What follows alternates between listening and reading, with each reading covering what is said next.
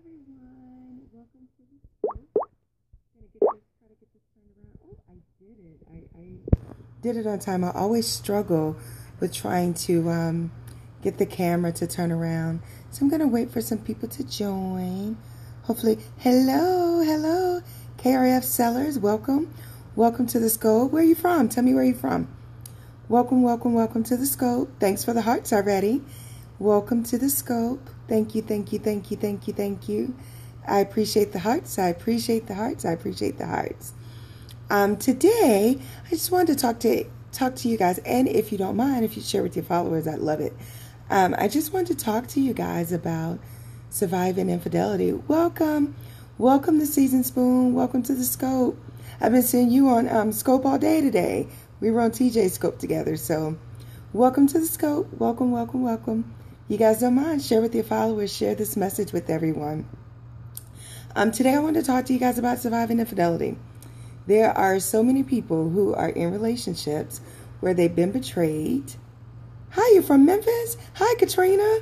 Welcome, welcome from Memphis. My best friend is from Memphis. I met her at um, Fisk University almost 20 years ago, back in 1996. Um, and that was the first time that I uh, had an experience with someone from Memphis, and I just love her spirit. So good people.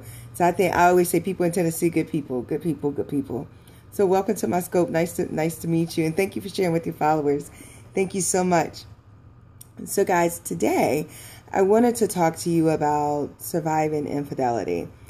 And there are so many people who've been in relationships who who've been betrayed, who um, have let these relationships hold them back, or they're still in the marriage.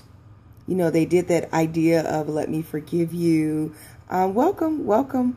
Um, they did that idea of let me forgive you, um, praying and hoping that they'll be able to get over being cheated on. Um, and for some people, it's just very hard. They don't know how to get there. So they're stuck in a marriage and they're trying to figure out do I even still like this person? Thank you for sharing your followers. Do I even still like this person? Um, that I'm in this relationship with, that I'm in this marriage with, that I'm in, you know, this partnership with. So today I just really wanted to talk about some key things on how to survive an infidelity issue. And I thank you for the hearts. I love the hearts. Please keep them coming. Thank you so much. Um, and and and when I see my client, first of all, for you for you guys that don't know me, let me introduce myself. I apologize. My name is Dr. Roselyn Aker Black. I am a clinical psychologist and I uh, specialize in um, child, family, and couple um, relationships. I also do a lot of forensic work, a lot of trauma work. So I love this whole idea of helping people when they are in their worst pain. And I know that sounds crazy, but um, I, I love the idea of of getting people to to a healthier self, if that makes sense. So I decided to start doing these scopes because people fear like going to see a psychologist. It's like this whole thing with if I have to go see a psychologist, if I have to go see a therapist, then I'm sick. I'm I'm uh, I'm weak. I'm I'm dumb. Just whatever kind of stereotypes and stigmas that we have. So really, my reason for doing these these scopes is to show you that it's not a bad place to be. That it's a great place to be to get your healing. You know, we we have to heal and especially in in the African, well, in a lot of minority communities, it's um, you know, we think that we can go pray a situation away, which we can. I'm a Christian. I believe in praying. I completely believe in that. But we also have to recognize that there are people who are trained to do this kind of work that are sent in our lives to help us. So um, I I I am one of those people that I want to help you. Absolutely want to help you. So let's get into the scope today. I really want to talk about some ways to help you get past the infidelity. So the first thing you have to do is that you have to decide individually, the two of you. Hey, Yasmin, the two of you in the relationship, you absolutely have to decide whether you really want to be fully committed to make this relationship work. Not just mm. staying there because you know you have nowhere to go you you don't want to start over but that you really want your relationship to work and that's an individual commitment thank you for sharing with your followers that's an individual um, commitment, an individual commitment to decide whether you want to work on it together because the worst thing ever is to have one person working to make the relationship work and the and their spouse or their paramour is like I don't want to work. I don't want to do this. Welcome, welcome, welcome. Um, I don't want to be a part of this relationship anymore. So you feel like you're in a space of where you're trying by yourself, you're loving by yourself, you're working by yourself. And that's a horrible place to be in. So, in order to get your relationship back on track, both of you have to really commit and really take the time out to honestly try to make the relationship work. So, the second part of trying to figure out how to make the relationship work is that you have to learn how to communicate effectively. Most people don't know how to communicate, unfortunately. A lot of people, when you're arguing, no, no, that's fine, that's fine, just catch it on the replay. A lot of people, when you're arguing, you know, you are in a space of, you know, listening to, you know, to defend yourself, not really listening to hear what it is that your partner is saying. And so we get into these arguments and they become huge blowouts because we're not really hearing each other. We're not communicating effectively. And so there are three parts to communication. The first part is you have to actively listen. You have to actively listen to your partner. And what I mean by that, you can't be in a situation of where they're talking and telling you their needs and you're just defending your position. That's not actively listening. You have, thank you. I love the hearts. Please keep them coming. Thank you so much. That's not actively listening to your partner. To actively listen is to understand what they're saying and to understand their perspective. And so that's the second part of communication. You have to be under able to understand what their need is because so many times we get into a relationship and we think we're doing everything right. We think we're on point. We think we're you know, like you're the best in the relationship, the best, you know, you just think that everything is good. And not until your partner lets you know that there's an issue and lets you know there's a problem. So you have to listen to understand what is it your partner is saying to you. And guys, here's a clue, especially for the men. When your wife is nagging you, that's a clue that there's a need that's not being met. So you like you guys like to call it nagging, but I really want you to see it very differently that it really is that she's asking you to meet a need. She's asking you to meet her need. So, the second part of communication is that you have to learn how to listen and understand. Not listen to defend, but listen to understand. So, you have active listening, the first part of effective communication. And then the second part is listening to understand. And then the third part is um, actively doing what it is that the person needs from you. So responding to to the need. So a lot of times we just talk and you feel like you just keep talking about the same situation and like there's nothing, there's no you know, no ends to a mean. You keep arguing about the same situation. It's because you're not listening to each other. You're not listening to the need. You're listening to argue your point, not listening to understand your spouse's point. So that's a huge big difference huge big difference. Um, and once you master that, once you master those, thank you, welcome, welcome, prospering Nisha. Once you master those three things, then you have learned how to communicate effectively. But until you get that concept that you need to actively listen, you need to listen to understand, not listen to defend, and then act upon the need, you're not communicating effectively. You're just wasting air time, and space, arguing for no reason. So you have to learn how to communicate effectively. Now, this is what really, um, this is what really gets the clients that I work with when I talk to them about, um, welcome, T- Tijuana, moving on, welcome. Um, when I talk to them about the cheating, they think that's like the ultimate betrayal. Really, it's not a person cheating really isn't the reason why your relationship is breaking up. It's just a symptom of something else, an underlying core need that's not being met.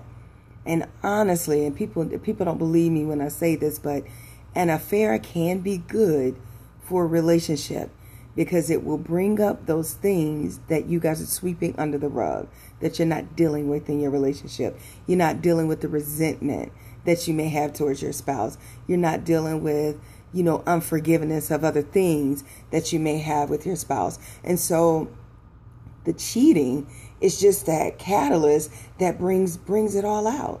You know, and so the problem is the person that that's cheating, they get manipulated. They get manipulated in the process thinking that it's better over here with with with I hate this word, but with the side chick or the side dude or the person that they're having the affair with they get manipulated into thinking that it's so much better. But the truth of the matter is, is that the side chick or the side dude is still trying to get their attention. So they are doing everything possible to meet the need. They're giving the person what they want. So I always tell people in a relationship, you have to keep on giving your spouse what they need from you. You can't stop once you get married. You have to continue.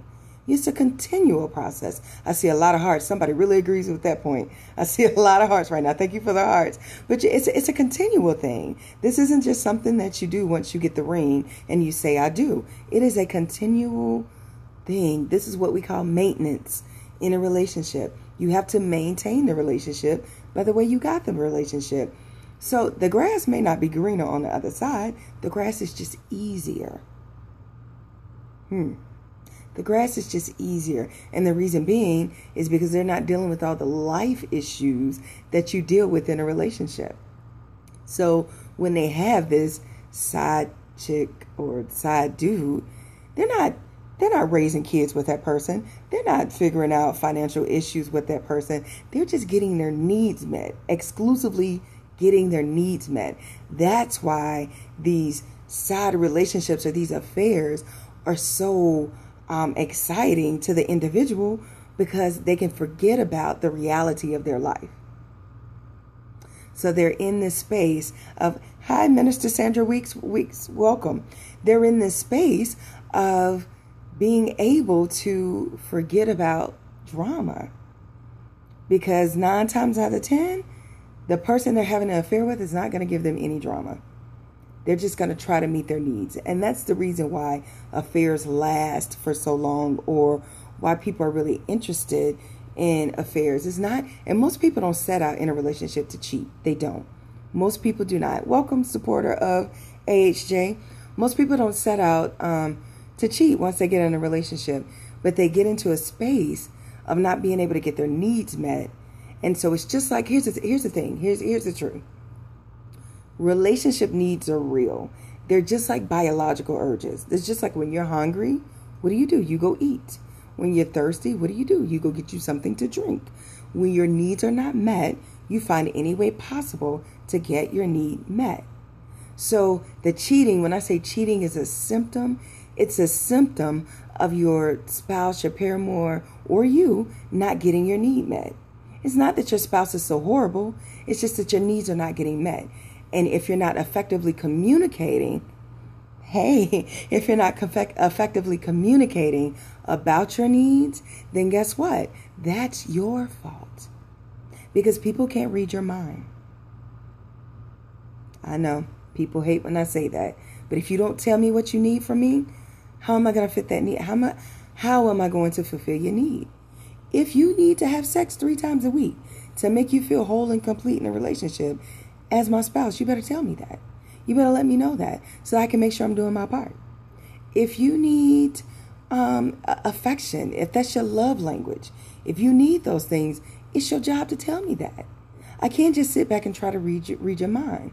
And it's unfair when we ask people to do that. It's unfair when we try to hold someone else to um, to the to the fire to make us happy. That's unfair. It's unfair to make somebody else responsible for your emotions. It's unfair. It is totally unfair. Thanks for the hearts. It's totally unfair.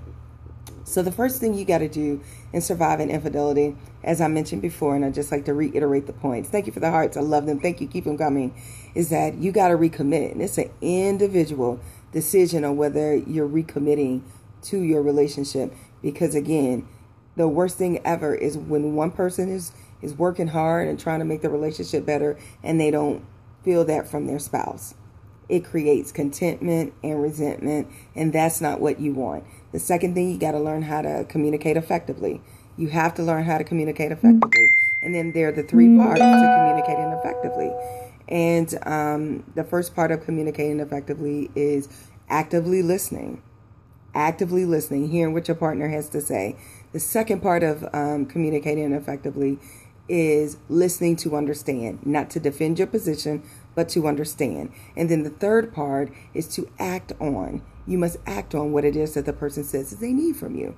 So those are the first two things that you need to do to get past um, infidelity. And then your last thing, the very last thing that helps people that I, that has helped individuals with infidelity issues is that you, the offender, has to decrease insecurity in the relationship. And what I mean by that, if you are hiding your phone, turning your phone over, you you if, they if you guys mismatch your phones and and your spouse has your phone and you're freaking out, then those are some things you have to change. You got to change those things because those are ta- telltale signs that you're cheating or that you're doing something that you shouldn't be doing. So you have to decrease those things. If she asks or he asks, let me see your phone, it shouldn't be an issue if you're not cheating. You should be like, oh, here you go. You shouldn't even worry about it. It shouldn't be an issue. You have to give the evidence that you're no longer doing what you were doing before.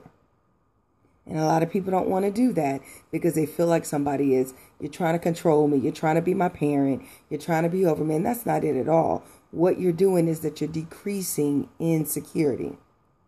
The only reason why a person becomes insecure in a relationship is because there's a threat to the security of the relationship. I'll repeat that. Thank you for the hearts. I appreciate them. Thank you so much. There's a threat to the insecurity of the relationship. So sorry about that. Had a call come in. Sorry about that. So um, in order to decrease insecurity, you have to make sure you're not providing threats to the security of the relationship. How do you do that? You become more honest. If you're having those urges to go online and and look on these web, uh, what is it, Ashley Madison, that website for like married people or whatever. If you're having those urges, then that's when you need to start communicating with your spouse.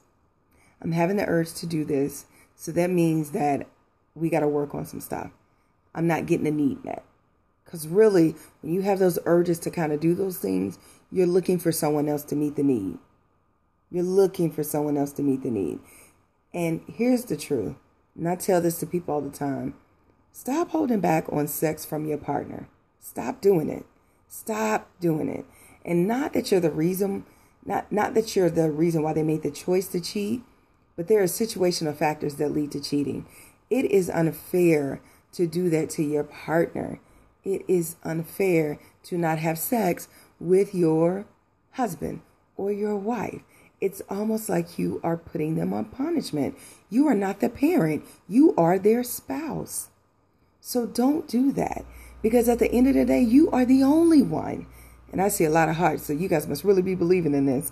You are the only one at the end of the day that can please your spouse in that way. So you got to get on your job. You got to do what you got to do to make sure you're meeting the need. Stop putting your partners in timeout and thinking that they're not going to have a temper tantrum. It's just too unfair. Stop doing that to them. You got to stop with some of the situational factors. You have to look at your role in it. You have to look at your role in these things. So, those are the three key things about um, surviving fidelity infidelity. So you want to make sure that everybody is recommitting back to the relationship. And it's an individual decision because when somebody is forced into it, then guess what? They're really not committing. They're just doing it to go along. So either they don't want to pay child support, they don't want to pay alimony. You got to get to the root cause of it. Why are you recommitting? Thank you for sharing with your followers. Why are you recommitting back to the relationship? Is it because you really want to love me? Because a lot of people think that love conquers all. Love is great, but commitment is a much bigger factor it is a much bigger factor. Commitment is is greater than love, and I hate to say it, but every morning I've been married for nine years, and every morning I wake up and say I'm, I'm recommitting to my husband. I'm recommitting to my husband because guess what? When you're beefing, and yes, I said beefing. Hi, when you're beefing, you um with your spouse, you a lot of distractions come your way. Let your spouse not meet your need and y'all leave the house and y'all have had arguments or whatever. And it seems like all day a lot of distractions come your way. And here's the one thing that that that that is hilarious to me. I can tell someone, "Oh no, I'm ma- I'm married," and then they'll come back. Do you need a friend? No, I'm married. I don't need a friend. I'm happily married. Yes, it is. Love, love, love, love, love is great. Hey, Nikisha Michelle. So, guys, all of you guys need to follow Nikisha Michelle. She's doing big things out there in, in LA. I think you're still in LA, Nikisha Michelle. Um, she has a radio show out there. She's written books. She's great in this whole love factor too. So if you guys aren't following her, you should be following her. That's Nikisha Michelle. Nikisha, post again so they can see your name, so they can follow you. Um, yeah, but but commitment is a much bigger factor. And and and the reason that's the same crazy as asking, "Are you happily married?" Yes, I I hear that. You'd be surprised how many times I hear that craziness. You happily married? Does it make you happy? Da da da da. And and and truthfully, and I say this all the time, men, don't leave your women out here lonely. Don't let them watch because you could be in a marriage and still be lonely.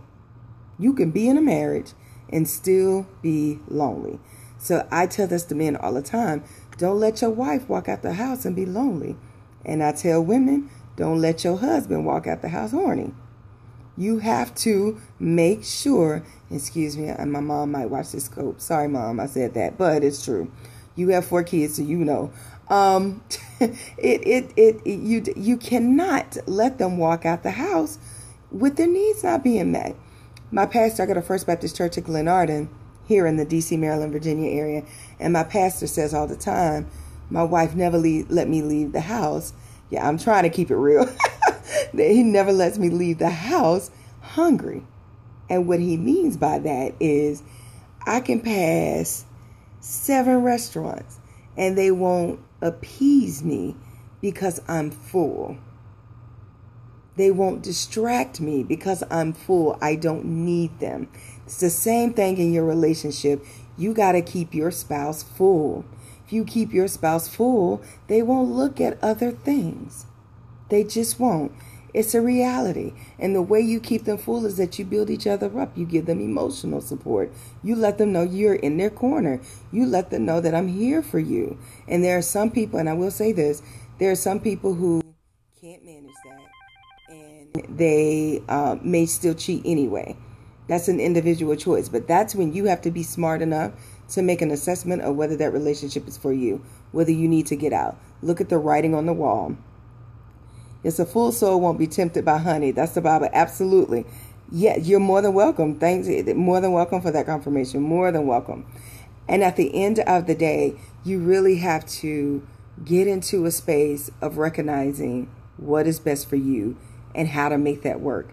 And a lot of times we just go with the flow and we push things under the rug because we don't want to deal with the drama of it or we don't want to start over in a relationship.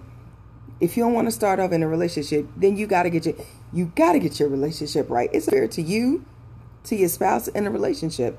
You've got to get your relationship right. Right. You have to. You have to. You have to you know, I, I have a um, a giveaway that I'm I'm gonna give away to you guys that are on Periscope right here. But are there any questions about um, keys to surviving infidelity? Do you have any questions? I'll do a little Q and A with you guys if you have any, um, based on based on the three things that I gave you: committing yourself back to the relationship, learning how to um, affect a, a communicate effectively. Excuse me, and then the third one is um, decreasing decreasing the insecurity. As my husband says, it's called choice management. Uh, it is. It it is. It is a choice. It is a choice to cheat. People make a choice to cheat. Now there are um, there are some situational factors that that may lead to the individual making the choice. But people make an individual choice, and they have to accept the choices that they make. Sorry, my dog. Sorry, I'm home today, so my dog is. I'm here with my dog. It's the holiday here.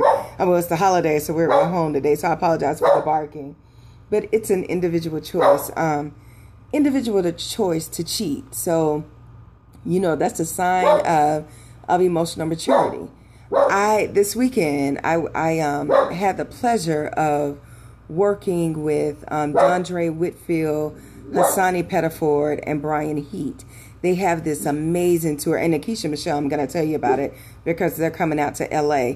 They have this amazing tour called the Manhood Tour. And what it is, it's a tour that's challenging men to like step up to the plate and be men, not boys, but men. Recognize what the responsibility. Yes, I'll, I'll recap. I will. I'll recap for you. Um, recognizing what the responsibility is for men. So I'm working with this great project and um, you know, I I I I commend these brothers because they and and they're all you guys. You probably know Dondre because he is um, he played Robert on the Cosby Show as Vanessa's boyfriend, and then he's on Hollywood House House Husbands and um, Mistresses. Like he's a he's a thirty year veteran actor. Um, has been acting since he was 15, I believe. Um, three time nominated, Emmy nominated actor. So he's a phenomenal actor. But, you know, just listening to him, he said his purpose is speaking to men. And um, Hasani Pettiford, he's a relationship expert. You guys have seen him on TV One. You've seen him on um, everything, Wendy Williams. Uh, and, and Brian Heat, he's this prolific speaker. You guys have seen him on Roland Martin, all this good stuff. So these men I didn't see them as the celebrities they were when they were doing their program, their performance, but I saw these, these men as husbands and fathers who really were challenging men that we got to step up to the plate and get our community back in order because our community is suffering and it's so real. What do when there was one time cheating in the marriage and a child? Oh, that's a hard one. Um, that's a hard one. You know, for some people, when there's an outside child that is um, born, that's some people's deal breaker. And if you know that you can't deal with that, you can't manage that, then you have to make a decision about what you want to do in that marriage because at the end of the day, and this is what happens a lot of times, the child is the one that really suffers the most because they're going back and forth between this adult drama. Um, and and and I hate this idea where where we have these men and and and women who are creating these families and just leaving these families. And these babies are the one that are suffering with the consequences of adult choices. So you really have to get into i don't whoever your god is pray about it that you're guided to make a decision on what's best but if you accept if you accept that situation then you have to love that child. You have to love that child in that situation because it's not it's not the child's fault. Mm-hmm. It's not the child's fault. Um, you know, it's it's an unfortunate situation, mm-hmm. but it happens more times than we than we know it. Unfortunately, it it happens all the time. I I see a lot of I actually this is probably what brings me the most clients. A situation where a child has there's an outside child. And it really is remember at the beginning i talked about that you had and i'll recap for you nikisha michelle. You had asked um, the recap of the three keys of surviving infidelity so the first um, thing is that the individuals in the relationship have to make a decision independent of each other of whether they want to commit to the relationship that has to be a choice that you make that you want to recommit to the relationship. And then once you both are on board, the woman is pregnant with a man who is not the husband. Oh, that's um that sucks, but she can't be she she has to own up to her consequences. The reality is is that there are positive and negative consequences in everything that we do. And so she has to be honest because again, it's unfair to the child, it's unfair to the husband, and it's unfair to the man that the child doesn't know who their real family is.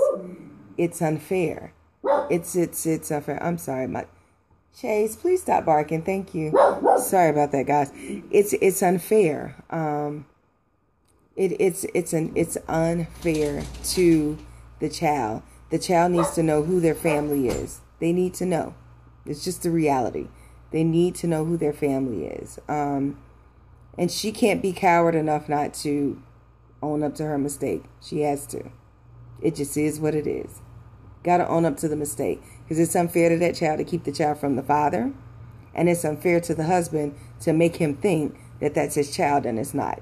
So she has to be honest in that situation and let everyone know what's going on. It's just a reality. It is what it is. It's unfortunate, and if she feels like she's going to be in danger, then she needs to get an escape plan first before she reveals this to the husband.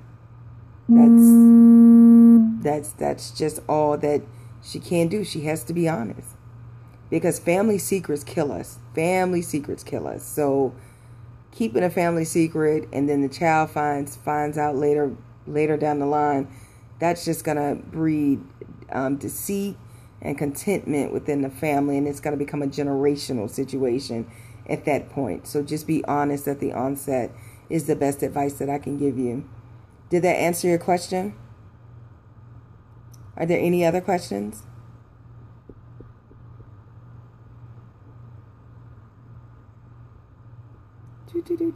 Hopefully, I, I hope that answered your question. I'll recap for you, Nikisha Michelle. Awesome, awesome, um, Prosper Nisha. Glad that that answered your question. I'll recap. Um, the three things that can help with infidelity is the first one is that you must um, you must commit. You must commit um, back to recommit to the relationship. The second thing that's important is that you have to learn how to communicate. You have to see the infidelity for what it was. It was a symptom of an underlying situation. So you have to see it for what it was. And um, there are three parts to communicating effectively. The first part is actively listening. The second part is listening to understand, not listening to Oh, you for oh, I don't know where you froze at. Oh no. I hope you didn't miss too much, but you know you could catch it on the replay. You know you could catch it on the replay. Um, the second part is um, you didn't miss the giveaway though, so you're good. The second part is of of communicating effectively is um, communicating to understand, not communicating to defend your position. And then the third part is acting upon whatever the need is. So that's the three parts of effective communication. And then the last part is that you have to de- decrease the threat in the relationship. You have to decrease the threat to, to security. So you have to make your partner feel secure again so that they can trust you again and to be vulnerable with you again in the relationship. So, all right, are there any more questions before I go into this giveaway?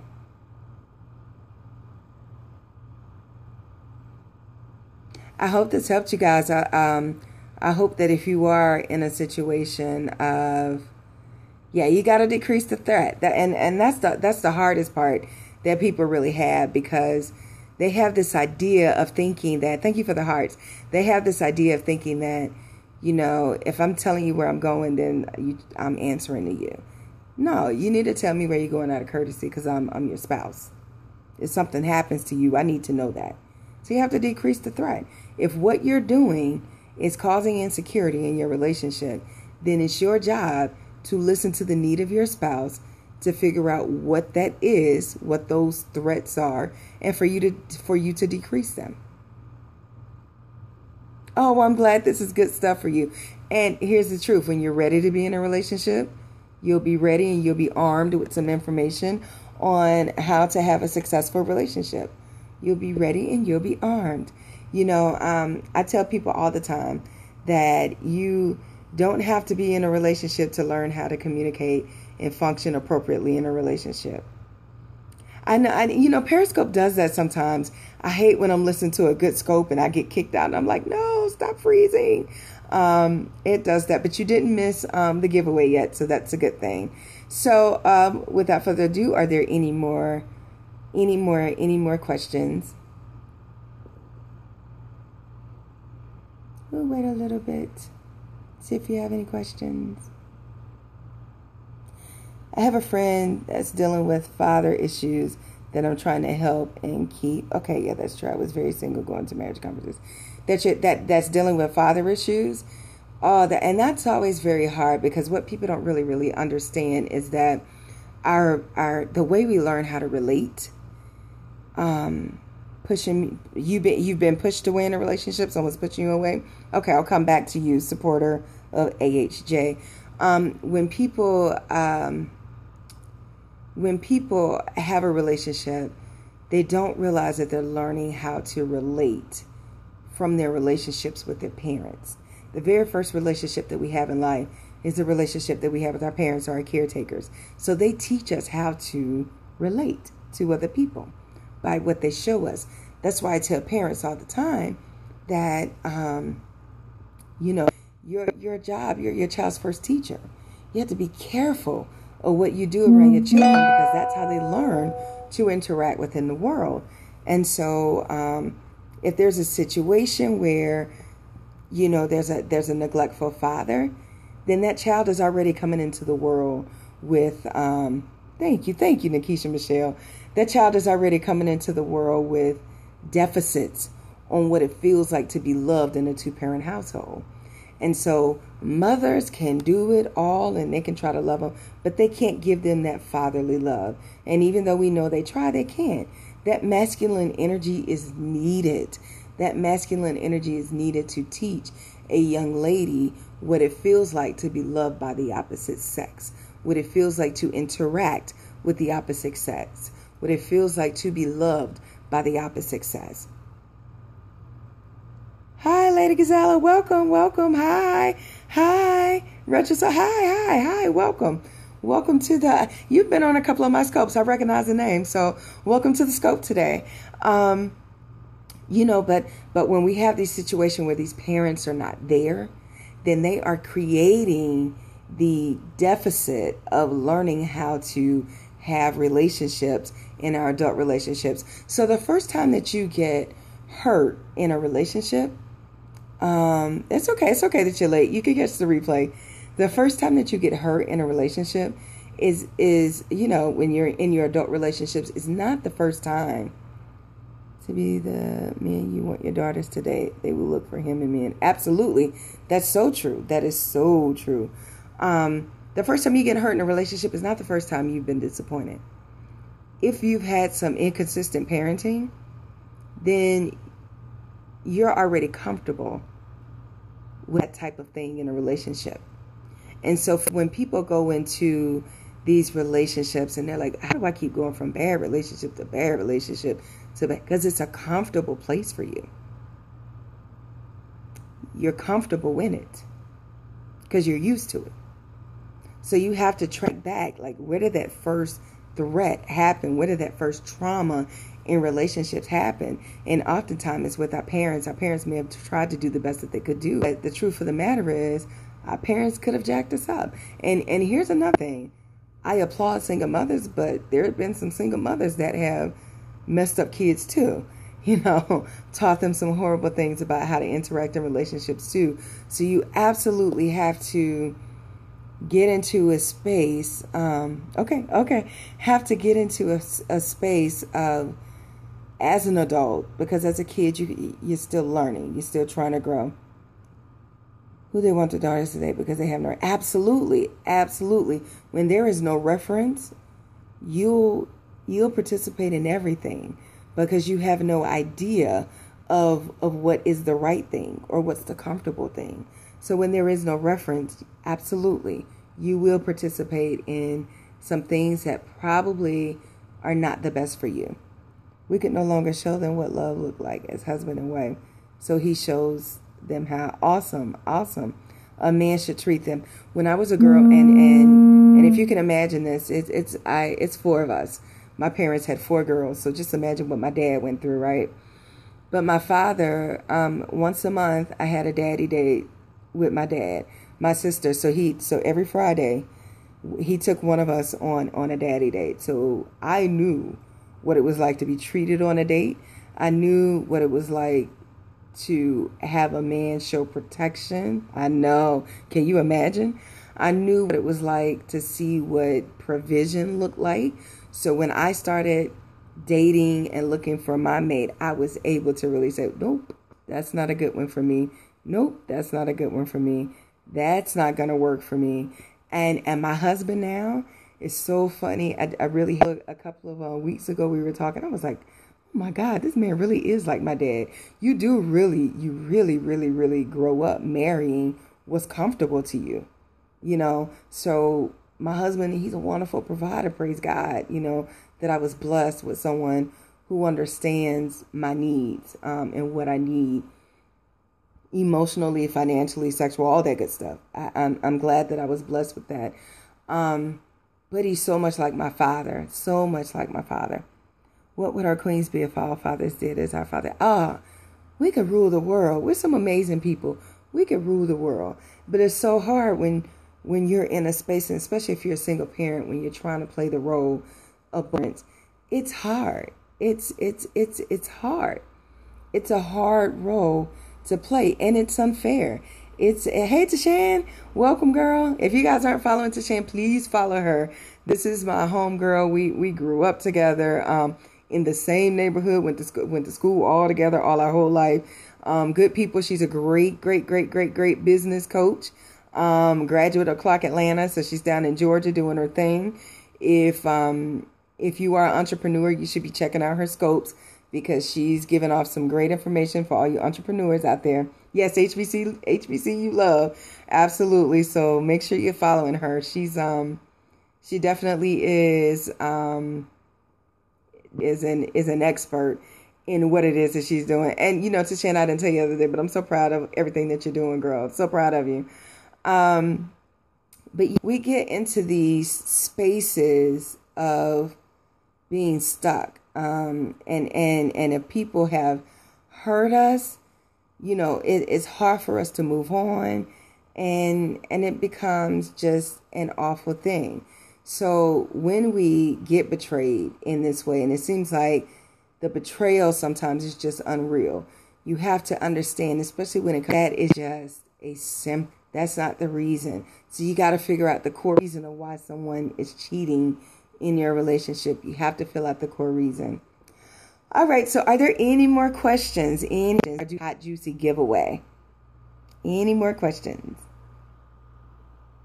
I'm waiting. I've enjoyed talking to you guys so far. I always love it when people want to do better in their relationships and and and know that they deserve better. I love it. I love it. I love it. I love it. I love it. I love it when people want more for themselves. Oh, thank you. Thank you so much. Make sure you follow me so I can follow you back. I like to follow everyone that follows me because if you if you've got a business that that you're doing, I want to know about what you're doing. Like retro services, tell me all about what you do. Um, cause I cause you you follow me. I've seen you on a couple of my scopes. So you know, tell me all about what you have going on. Um, so that I can make sure I'm I'm supporting your efforts as well. So, guys, I have a juicy, juicy, juicy, juicy, juicy giveaway today. I am running a um an, running another one of my relationship boot camps through the Dr. Roz Academy. Um, and if you're not familiar with me, I like to do these teleclasses. Oh, am I breaking up now? Can you are, are you guys good now? Am I here now? Sorry. Oh, I hate when Periscope is breaking up. I hope I'm not le- losing you guys because I want you guys to hear about um, hear about this great, great, great offer I have. So I'm running my relationship boot camp, but I am running a deal for all. How about now? Is am I better now? I don't know. I don't know how to stop breaking me up. Am I better now? I don't know. I see me moving and I still see hearts. Still breaking up? Oh no. How about now? Can't hear me? Oh no. That's not good.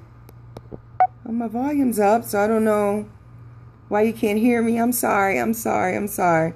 How about now? My okay. All right. There's reason two. Mine is kind of suffering, so I apologize. to get through this. Breaking up and, and echoing. Oh, this is horrible. Come on, Periscope. What's going on? This shouldn't be happening. Um, let me try to get through this this um, while I can, while I have you guys just in and out. Okay. All right. Sorry. Um, so I'm running a relationship boot camp and we're getting started on October 26th. But um, this this relationship boot camp it is regularly $300, but I am giving it to my Periscope followers that are on this scope for 150. You're gonna get it for half off. No, you can't hear me. Can you guys hear me now?